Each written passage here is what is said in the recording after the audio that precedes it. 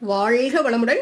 Welcome to TNPSC stars student zone students இன்னைக்கு உங்களுக்கான video NMMS exam பற்றின full detail video தான் நம்ம இன்னைக்கு பார்க்க போகிறோம் என்எம்எம்எஸ் எக்ஸாம் யாருக்கு அப்படின்றது உங்களுக்கு தெரியும். எயித்து ஸ்டாண்டர்டுக்கு இது ஒரு ஸ்காலர்ஷிப் எக்ஸாம் டோட்டலாக நம்மளுக்கு ஃபார்ட்டி எயிட் தௌசண்ட் ஸ்காலர்ஷிப் பார்த்தீங்கன்னா எப்போ இருந்து நைன்த்துலேருந்து டுவெல்த் வரைக்கும் இயர்லி டுவெல் தௌசண்ட் உங்களுக்கு ஸ்காலர்ஷிப் கிடைக்கும். இந்த எக்ஸாம் எப்போ நடக்க போகுது? எப்போ அப்ளிகேஷன் இஷ்யூ பண்ண போகிறாங்க யாரெல்லாம் இதை எழுதலாம் யாரெல்லாம் எலிஜிபிள் அப்படிங்கிறத நம்ம இந்த வீடியோவில் பார்த்துடலாங்க ஸோ இந்த எக்ஸாம் பார்த்தீங்கன்னா two thousand twenty three twenty four கல்வியாண்டில் படிக்கக்கூடிய மாணவ மாணவியர்களுக்கான எக்ஸாம் தான். உதவித்தொகை அப்படின்னு பார்த்தோம்னா நைன்த்லேருந்து டுவெல்த் வரைக்கும் என்எம்எம்எஸ் எக்ஸாமில் வெற்றி பெறக்கூடிய மாணவர்களுக்கு அதாவது ஸ்காலர்ஷிப்க்கு தகுதியான மாணவர்களுக்கு இயர்லி டுவெல் தௌசண்ட் உதவித்தொகையாக கொடுக்கப்படும். ஓகே தகுதி என்ன அப்படின்னு பார்த்தோம்னா கண்டிப்பாக அரசு பள்ளியில் படிக்கணும் கவர்மெண்ட் ஸ்கூலில் படிக்கணும். இல்லை கவர்மெண்ட்டில் ஏ கவர்மெண்ட் எய்டட் ஸ்கூல் அதாவது உதவி பெறக்கூடிய அரசு உதவி பெறக்கூடிய பள்ளிகளாக இருக்கணும். இல்லை மாநகராட்சி நகராட்சி ஊராட்சி இந்த மாதிரி அரசு சார்ந்த பள்ளிகளில் படிக்கக்கூடிய மாணவர்கள் தான் இதை எழுத முடியும். பிரைவேட் ஸ்கூலில் படிக்கிறவங்களால இதை எழுத முடியாது. அதே போல் குடும்ப ஆண்டு வருமானம் பெற்றோர்களுடைய ஆண்டு வருமானம் எவ்வளோ அப்படின்னு பார்த்தீங்கன்னா த்ரீ லேக் ஃபிஃப்டி தௌசண்ட் இதுக்கு மிகாமல் இதை த்ரீ லேக் ஃபிஃப்டி தௌசண்ட் இருக்கலாம் இல்லை இதுக்கு கம்மியாக இருக்கலாம். அவங்க மட்டும்தான் இந்த எக்ஸாம் எழுதுறதுக்கு எலிஜிபிள் ஓகே முன்னாடி பார்த்தீங்கன்னா லாஸ்ட் இயர்லாம் பார்த்தீங்கன்னா ஒன்றரை லட்சம் தான் சொல்லியிருந்தாங்க. ஆனால் இந்த வருஷம் அதிகப்படுத்தியிருக்காங்க பாருங்க. மூன்று லட்சமா அதிகப்படுத்தியிருக்காங்க. ஸோ இது கண்டிப்பாக வரவேற்கத்தக்க ஒரு விஷயம். அப்போ எல்லாருமே எழுதலாம் இல்லைங்களா? மூன்று லட்சத்துக்கு மிகாமல் இருக்கணும் ஆண்டு வருமானம். அதை பார்த்துக்கோங்க. கண்டிப்பாக எக்ஸாம் அப்ளிகேஷனோட இன்கம் சர்டிஃபிகேட் சப்மிட் பண்ணணும். அதனால எப் இன்கம் சர்டிஃபிகேட் வாங்கி வச்சுக்கோங்க. இல்லைனாலும் கண்டிப்பாக வாங்கி வச்சுக்கோங்க. அதை பார்த்துக்குங்க.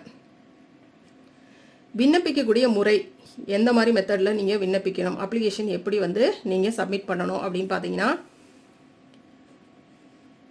உங்களுடைய ஸ்கூல் ஹெட்மாஸ்டர்கிட்ட விண்ணப்ப படிவங்களை நீங்கள் வாங்கிக்கலாம். அதாவது உங்கள் ஸ்கூலில் ஹெட்மாஸ்டர்கிட்ட அப்ளிகேஷன் ஃபார்ம் நீங்கள் வாங்கிக்கலாம். சரிங்களா? விண்ணப்ப படிவங்களை நீங்கள் அங்கே வாங்கிக்கலாம். அவங்க வந்து உங்களுக்கு டவுன்லோட் பண்ணி தருவாங்க. இல்லையா நீங்கள் தனியாக கூட வெப்சைட்டில் நீங்கள் நம்மளுடைய கவர்மெண்ட் வெப்சைட்டில் நீங்கள் டவுன்லோட் பண்ணிக்கலாம். ஆனால் கண்டிப்பாக ஸ்கூல்லேயே தருவாங்க. நீங்கள் ஒன்றும் ரிஸ்க் எடுக்க வேணாம் ஸ்கூல்லேயே கேட்டிங்கன்னா தந்துருவாங்க. சரியா? முக்கியமான ஒரு விஷயம் நிறைய ஸ்டூடெண்ட் நம்மக்கிட்ட நம்ம சேனலில் கூட நிறைய பேர் வந்து பார்த்தீங்கன்னா கமெண்ட்டில் சொல்கிறீங்க எனக்கு வந்து என்எம்எஸில் ஸ்காலர்ஷிப் நான் வாங்கி நான் வந்து என்எம்எம் எக்ஸாமில் எலிஜிபிள் ஆகி ஆனால் ஸ்காலர்ஷிப் பார்த்தோன்னா ஒரு வருஷம் ரெண்டு வருஷம் வருது அதுக்கப்புறம் வரமாட்டேங்குது அப்படின்னு நிறைய பேர் சொல்லியிருக்கீங்க. என்ன காரணம் அப்படின்னு பார்த்தீங்கன்னா ஒன்று இன்னொரு ஸ்கூல் ப்ரைவேட் ஸ்கூலில் சேஞ்ச் ஆகி போய் படிச்சிருந்துருப்பீங்க. இல்லையா உங்களுடைய பேர் தப்பாக இருக்கலாம். சரியா? அதனால தான் என்ன சொல்கிறாங்கன்னு பாருங்கள் என்எம்எம்எஸ் தேர்வுக்கு விண்ணப்பிக்கக்கூடிய மாணவர்கள் தங்களுடைய பெயர் பத்தாம் வகுப்பு மதிப்பெண் சான்றிதழில் எந்த மாதிரி வரணுமோ அந்த மாதிரி விண்ணப்ப படிவத்தை பூர்த்தி செய்யணும். ஓகேவா? இப்போ உன்னுடைய இனிஷியல் வந்து நீ ஃபஸ்ட்டு வந்து இனிஷியல் ஃபஸ்ட்டில் போட்டு கொடுக்கணுமா? இல்லை எண்டில் போட்டு கொடுக்கணுமா? அது கூட நீங்கள் பார்த்துக்கணும். ஓகேவா இப்போ உதாரணத்துக்கு பார்த்தீங்கன்னா இப்போ கயல் அப்படின்னு இருக்குதுன்னு வச்சுக்கோங்க. ஓகே கயல் அப்படின்னு இருக்குதுன்னா இங்கே இனிஷியல் வந்து ஃபஸ்ட்டில் எஸ் கயல் அப்படின்னு இருக்குதா? இல்லை கயல் எஸ் இருக்கா? இந்த மாதிரி. ஓகேவா ஸோ இதெல்லாம் பார்த்து கொடுக்கணும். இனிஷியல் ஃப்ரண்ட்டில் இருக்கணுமா பேக்கில் இருக்கணுமா எல்லாமே பார்த்து கொடுக்கணும். ஸ்பெல்லிங் எந்த இதுவும் மிஸ்டேக் ஆயிடக்கூடாது. இந்த இன்னைக்கு கொடுக்குற இந்த பேர் தான் உனக்கு வந்து பட் டென்த்து ஸ்டாண்டர்ட் மார்க் ஸ்ட்ரீட்டில் வரும். ஓகேங்களா? அதனால கண்டிப்பாக சரி பண்ணி கரெக்டாக நேம் ஒரு தடவைக்கு பத்து தடவை செக் பண்ணிக்கோங்க. கரெக்டாக இருக்கா அப்படின்னு பார்த்துக்கோங்க. அதுதான் இங்கே தெளிவாக உங்களுக்கு சொல்லிட்டாங்க.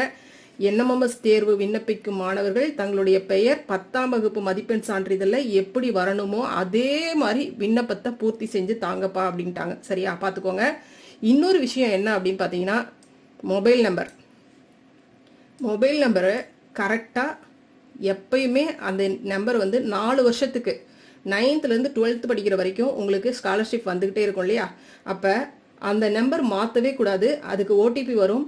அது கரெக்டாக வருதா வரலையான்னு பார்த்துக்கோங்க. இல்லைன்னா அந்த நம்பரை அது அதுக்கப்புறம் பார்த்தீங்கன்னா உங்களுக்கு ஸ்காலர்ஷிப்பே டிஸ்குவாலிஃபைட் ஆயிரும். ஓகேவா ரெண்டு வருஷம் வரும் அதுக்கப்புறம் வராது. அதனால இந்த இந்த ஒரு விஷயம் கரெக்டாக இருக்கான்னு பார்த்துக்கோங்க. எப்போவுமே ரீசார்ஜ் பண்ணி வச்சுக்கிறது எப்போவுமே கரெக்டாக கையில் வச்சுக்கிறது இதெல்லாம் கரெக்டாக இருக்கணும். ஓகே அதான் சொல்கிறாங்க மாணவரின் பெற்றோர் பயன்படுத்தும் நடைமுறையில் உள்ள கைபேசி எண்ணையே கொடுக்கணும். ஏற்கனவே இல்லாத நம்பர் அந்த மாதிரிலாம் எதுவும் கொடுக்கக்கூடாது. என்ன காரணம்? உதவித்தொகை சார்ந்து அவ்வப்போது வரக்கூடிய குறுஞ்செய்தி அதாவது மெசேஜ் ஓகே மெசேஜுக்கு ஓடிபி வரும். குறிப்பிட்ட எண்ணிற்கு அனுப்பப்படும் அப்படிங்கிறதுனால அந்த கைபேசி எண்ணை குறைந்தது ஐந்து ஆண்டுகளுக்காவது மாற்றாமல் இருக்கணும். அந்த நம்பரை நீங்கள் குறைஞ்சபட்சம் நானாவது நாலு வருஷம் சொன்னேன். அஞ்சு வருஷத்துக்கு கண்டிப்பாக நீங்கள் மாற்றக்கூடாது கண்டிப்பாக அஞ்சு வருஷம் தான். ஏன்னா eighth ninth tenth eleventh twelfth ஓகேவா அந்த அஞ்சு வருஷத்துக்கும் நீங்கள் இந்த நம்பரை கண்டிப்பாக ஸ்டேபிளாக வச்சுருக்கணும். இல்லைன்னா உங்களுக்கு ஸ்காலர்ஷிப் அமௌண்ட் வரதுல பிரச்சனை இருக்கும். இதெல்லாம் பார்த்துக்கோங்க. இன்னொரு முக்கியமான விஷயம் என்ன அப்படின்னு பார்த்தீங்கன்னா மாணவர்கள் தாங்கள் பள்ளி மாணவர்கள் தாங்கள் பயிலும் பள்ளி அமைந்திருக்கக்கூடிய மாவட்டத்தை குறிப்பிட வேண்டும். தாங்கள் குடியிருக்கக்கூடிய மாவட்ட நீங்கள் எங்கே குடியிருக்கிறீங்களோ அந்த மாவட்டத்தை நீங்கள் இதில் குறிப்பிடக்கூடாது. அதாவது அப்ளிகேஷன் ஃபார்ம்ல நீங்கள் எந்த டிஸ்ட்ரிக்ட்னு கேட்பாங்க இல்லையா? அதில் உங்கள் ஸ்கூல் எந்த டிஸ்ட்ரிக்டில் இருக்குதோ அதை தான் நீங்கள் போடணும். நீங்கள் எங்கே குடியிருக்கிறீங்க அதெல்லாம் இங்கே பிரச்சனை கிடையாது. நீங்கள் இன்னொரு டிஸ்ட்ரிக்டில் குடியிருந்துக்கிட்டு இங்கே வந்து ஏதாவது தங்கி இது படிப்பீங்க ஹாஸ்டலில் படிக்கிற ஸ்டூடெண்ட்ஸ்லாம் இருக்கிறீங்க இல்லையா? இப்போ அவங்கெல்லாம் பார்த்தீங்கன்னா எந்த இடத்துல உங்கள் ஸ்கூல் இருக்கோ நீங்கள் எந்த ஸ்கூலில் படிக்கிறீங்களோ அந்த ஸ்கூல் எந்த டிஸ்ட்ரிக்டில் இருக்கோ அந்த டிஸ்ட்ரிக்ட் தான் நீங்கள் போடணும். நல்லா மைண்டில் வச்சுக்கோங்க. அதை தான் இங்கே சொல்லியிருக்காங்க. மாணவர்கள் தாங்கள் பயிலும் பள்ளி அமைந்திருக்கக்கூடிய மாவட்டம் தான் மாவட்டத்தை மட்டும்தான் அந்த டிஸ்ட்ரிக்ட் மட்டும்தான் நீங்கள் குறிப்பிடணும். ஓகே மைண்ட் இட் என்எம்எம்எஸ் தேர்வுக்கு விண்ணப்பிக்கும் மாணவர்கள் விவரத்தினை டிஜிஇ போர்ட்டல் பள்ளி தலைமை ஆசிரியர்கள் பதிவேற்றம் செய்யும் போது பின்பற்ற வேண்டிய வர- ஓகே இது உங்களுக்கு தேவையே கிடையாது. நெக்ஸ்ட் பாருங்க ரொம்ப முக்கியமான விஷயம். உங்களுடைய பெயர் உங்களுடைய அப்பா பெயர் இருக்கிறீங்களோ ஸ்கூலில் யாருடைய நேம நீங்கள் வந்து கார்டியனாக கொடுத்துருக்கிறீங்களோ அவங்களோட நேம் இருக்கணும். டேட் ஆஃப் பர்த் உங்களுடைய டேட் ஆஃப் பர்த் எப்பயுமே ஒரே மாதிரி இருக்கணும் கரெக்டாக இருக்கணும். ஆதார் நம்பர் கண்டிப்பாக எல்லா இடத்துலையும் கேட்பாங்க. ஜெண்டர் ஓகேவா மேல் ஆர் ஃபீமேல் கேட்பாங்க நம்பர் கண்டிப்பாக மொபைல் நம்பர் உறுதியாக கேட்பாங்க தென் உங்களுடைய ஆதார் அட்டையில் இருக்கக்கூடிய விவரங்களை நீங்கள் அங்கே கேட்பாங்க சரியா? அதெல்லாம் கையில் கரெக்டாக வச்சுக்கோங்க. ஏற்கனவே நீங்கள் அதில் ரிஜிஸ்டர் பண்ணியிருக்கிற விஷயங்கள் உங்கள் ஆதார் உங்கள் கிட்ட இருக்கிற ஆதார் அட்டையோட அது ஒத்து போயிருக்கணும். ஓகேவா அப்பா பேர் போட்டிருக்கிறீங்கன்னா ஆதார் அட்டையிலையும் அந்த பேரே இருக்கணும். எல்லாமே சரியா இருக்கான்னு பார்த்துக்கோங்க. நெக்ஸ்ட் உங்ககிட்ட ஒரு ஃபிஃப்டி ருபீஸ் வந்து அப்ளிகேஷன் ஃபார்முக்காக வாங்குவாங்க கண்டிப்பாக அதை வந்து நீங்கள் ஸ்கூல் ஹெட் மாஸ்டர்கிட்ட கொடுக்குற மாதிரி இருக்கும். ஓகேவா ரைட் அடுத்தது தேர்வு எப்படி நடக்கும்? எந்த மாதிரியான சப்ஜெக்ட் நம்மளுக்கு வரும்? அப்படின்னு பார்த்தோம்னா மென்டல் எபிலிட்டி டெஸ்ட் மனத்திறன் தேர்வு அப்படின்னு ஒன்றும் படிப்பறிவு திறன் அதாவது scholastic aptitude test SAT MAT SAT ரெண்டும். இது பார்த்தீங்கன்னா ஈச் பேப்பர் பார்த்தீங்கன்னா 90 மார்க் ஓகே இது 90 இது 90 டோட்டலாக 90 மார்க்கு நடக்கும். இந்த மேட்டு பார்த்தீங்கன்னா எல்லா நம்ம எல்லா போர்ஷன்லேருந்து கேட்பாங்க. இது வந்து காமன் ரொம்ப ஈஸியாக இருக்கும். எல்லாத்தாலையும் கண்டிப்பாக வந்து செவன்ட்டியாவது வாங்கிட முடியும் மினிமம் ஓகே ரொம்ப ஈஸியாக இருக்கும். இது பார்த்தீங்க அப்படின்னா சேட் பார்த்தீங்கன்னா மேக்ஸில் வந்து ஒரு டுவெண்ட்டி கொஷின் வரும். சயின்ஸில் தேர்ட்டி ஃபைவ் சோசியலில் தேர்ட்டி ஃபைவ் அப்படின்னு சொல்லிட்டு டோட்டலாக உங்களுக்கு 90 கொஷின் கேட்பாங்க. ரைட் ஓகே இதெல்லாமே நீங்கள் எதுவும் கவலைப்பட வேண்டாம். நம்மளோட சேனல்லையே நம்ம வந்து எல்லாமே ஸ்டெப் பை ஸ்டெப்பாக ஒவ்வொரு லெசனுக்குமே நான் வந்து அப்படியே இனிமேல் அப்லோட் பண்ணிகிட்டே வரேன். டக்கு டக்குன்னு போட போட போட போட ஒன் ஒரு டே ஒரு நாள் விட்டு ஒரு நாள் நீங்கள் வந்து அப்படியே படிச்சுட்டே வந்துடுங்க ஃபாலோ பண்ணிகிட்டே வந்துட்டீங்க அப்படின்னா நம்ம போடுற வீடியோ அப்படி நீங்கள் ஃபாலோ பண்ணிகிட்டே வந்துட்டீங்கனாலே போதும். கண்டிப்பாக உங்களால் மார்க் வாங்கிட முடியும். ஏற்கனவே நம்ம ஸ்டூடெண்ட்ஸ்லாம் நிறைய பேர் வந்து பாஸ் ஆயிருக்காங்க.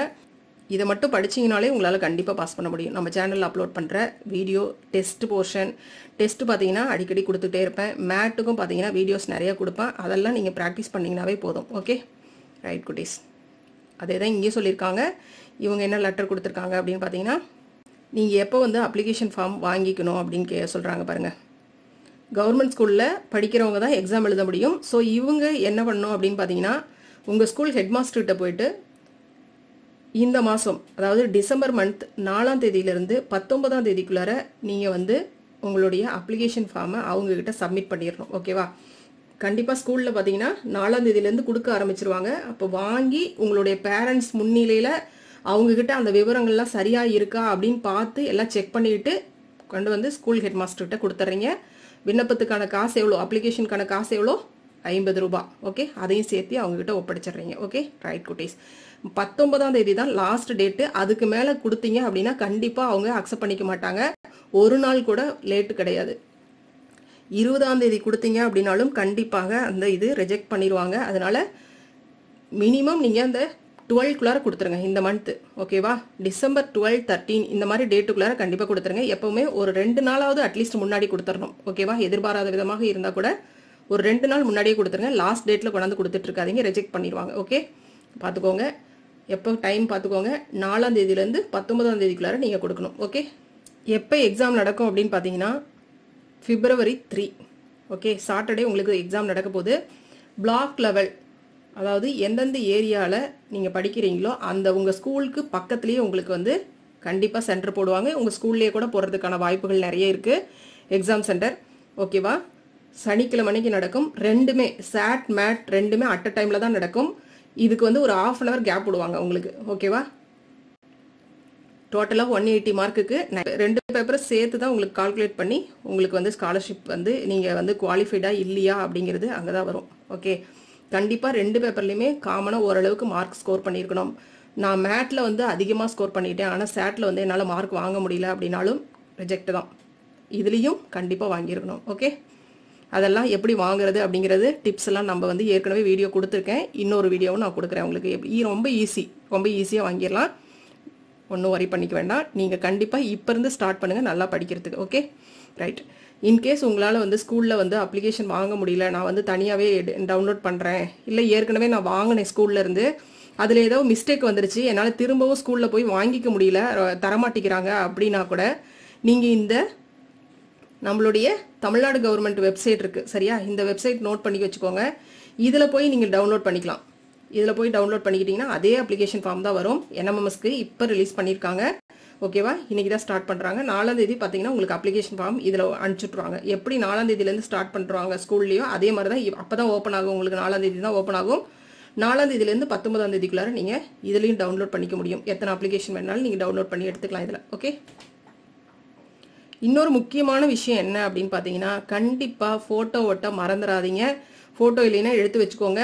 புகைப்படம் ஒட்டி பூர்த்தி செய்யப்பட்ட விண்ணப்பத்தை தேர்வர்கள் தாம் பயிலும் பள்ளியின் தலைமை ஆசிரியரிடம் ஆன்லைன் கட்டணம் ஐம்பது செலுத்தி அஞ்சு பன்னெண்டு ரெண்டாயிரத்தி இருபத்தி மூணு முதல் பத்தொன்பது பன்னெண்டு ரெண்டாயிரத்தி இருபத்தி மூன்றுக்குள் ஒப்படைத்தல் வேண்டும். பார்த்துக்கோங்க. நாலாம் தேதி உங்களுக்கு இஷ்யூ பண்ணுவாங்க அப்ளிகேஷன் கொடுப்பாங்க. நீங்கள் அவங்கக்கிட்ட சப்மிட் பண்ணுற டேட் எப்போ? அஞ்சாம் நீங்கள் சப்மிட் பண்ண ஆரம்பிச்சிடலாம். ஓகேவா இங்கேயே சொல்லிட்டாங்க பாருங்க. காலதாமதமாக பெறப்படும் விண்ணப்பங்கள் கண்டிப்பாக நிராகரிக்கப்படும். ஓகேவா கட்டாயமாக நிராகரிக்கப்படும் சொல்லிட்டாங்க. ஸோ கடைசி நாள் பத்தொன்பது பன்னெண்டு ரெண்டாயிரத்தி இருபத்தி மூணு. குட்டீஸ் இந்த வாய்ப்பை நல்லா பயன்படுத்திக்கோங்க. நாற்பத்தி எட்டாயிரம் ஸ்காலர்ஷிப் வருது. அதுவும் நீங்கள் ஏர்ன் பண்ணுறது அப்பா அம்மா கையை எதிர்பார்க்காம இந்த வயசுல உங்களால கண்டிப்பா இந்த அமௌண்ட் உங்களால ஏர்ன் பண்ண முடியுது அப்படின்னா அது எவ்வளவு பெரிய விஷயம்? இது வந்து இந்த ஸ்காலர்ஷிப் அமௌண்ட் வாங்குறது ரொம்ப ரொம்ப ஈஸியான விஷயம் தான் கொஞ்சம் மெனக்கட்டிங்கன்னா போதும். உங்களுடைய அறிவு ஏற்கனவே அபரிதமா உங்ககிட்ட ஏற்கனவே நாலேஜ் நிறைய இருக்கு. கொஞ்சம் முயற்சி பண்ணீங்க அப்படின்னா உறுதியா உங்களால வாங்கிட முடியும். மினிமமா பாத்தீங்கன்னா ஈச் பேப்பர்ல 90க்கு ரெண்டு பேப்பர்லயும் நீங்க வந்து சிக்ஸ்டி சிக்ஸ்டி எடுத்தீங்கன்னா நிச்சயமா ஸ்காலர்ஷிப் வாங்கிட முடியும். ஓகேவா? ஸோ அது எல்லாமே எப்படி வாங்க முடியும் எப்படி படிக்கணும் எல்லா பேட்டர்னும் நான் கண்டிப்பாக அடுத்தடுத்து அப்லோட் பண்ணுறேன் பாருங்கள் கண்டிப்பாகவே உங்களுக்கு ரொம்பவே அது ஹெல்ப்ஃபுல்லாக இருக்கும். ஃபாலோ பண்ணுங்கள் நான் அடுத்தடுத்து அப்லோட் பண்ணுறேன் எல்லாமே லெசன் வைஸாக நான் போட்டுகிட்டே வர்றேன். அது அப் அப்படி அதை அப்படியே ஃபாலோ பண்ணுங்கள் ஆப்ஷன் வச்சு படிக்கிறதுனாலும் ஓகே ஆனால் ஆப்ஷன் வச்சு படிக்காமல் அப்படியே கொஷின் ஆன்சர் அப்படின்னு சொல்லிட்டு ஒன் வேர்ட் ஆன்சர் எப்படி படிப்போம்? ஃபில் இன் த பிளாங்க்ஸ் மாதிரி. அந்த மாதிரி தான் நான் அப்லோட் பண்ண போறேன். ஏன்னா அப்படி படிச்சா மட்டும்தான் நம்மளுக்கு வந்து அந்த ஆன்சர் கரெக்டாக மைண்டில் நிற்கும் ஓகேவா ஏற்கனவே நம்ம ஸ்டூடெண்ட்ஸ்லாம் பார்த்தீங்கன்னா இந்த மாதிரி மெத்தடை ஃபாலோ பண்ணி தான் நிறைய பேர் ஸ்காலர்ஷிப் வாங்கியிருக்காங்க. ஓகேவா கண்டிப்பாக உங்களாலையும் வாங்க முடியும். நிறைய மாடல் கொஷின் பேப்பரும் நான் அப்லோட் பண்ணுறேன் அதே மாதிரி எப்படி ப்ரிப்பரேஷன் பண்ணணும்? எப்படி ஓஎம்ஆர் சீட்டில் நம்ம டெஸ்ட் அட்டன் பண்ணணும்? அப்படிங்கிறது எல்லா டீட்டெயிலையும் நான் கண்டிப்பாக உங்களுக்கு அப்லோட் பண்ணுறேன் ஓகேவா ஓகே குட்டீஸ் ஆல் தி பெஸ்ட் தேங்க்யூ